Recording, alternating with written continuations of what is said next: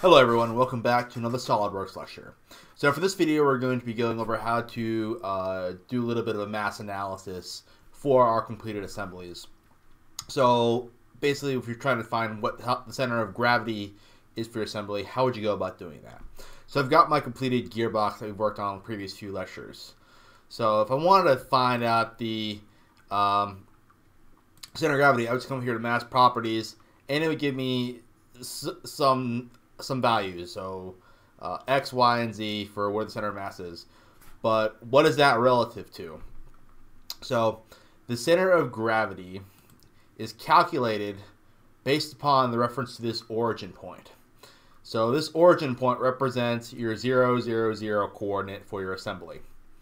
So if I want to get a value that makes sense, I need to constrain uh, my assembly uh, with respect to that origin.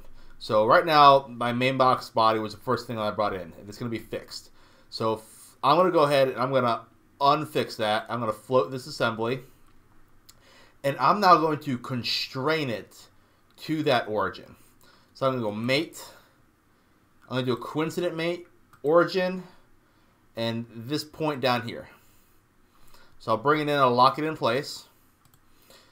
Now I'm to put in a few more mates to make sure that um, I'm um, parallel with respect to my uh, my planes. So I want to go parallel this to this one. Okay. Parallel this to this. And parallel this to this.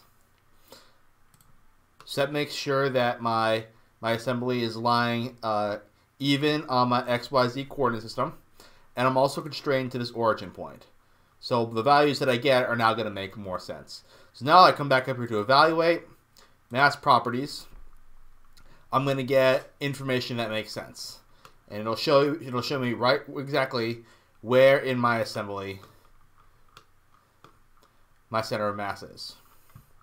And I'll also be able to get uh, my principal axis of inertia, moments of inertia, and uh, surface area, volume, and mass. Same thing that you find for uh, a normal uh, part analysis. So that's going to do it for this lecture. Be sure to hit that like button and subscribe to get more content like this. And I'll see you next time. Have a good one. Bye-bye.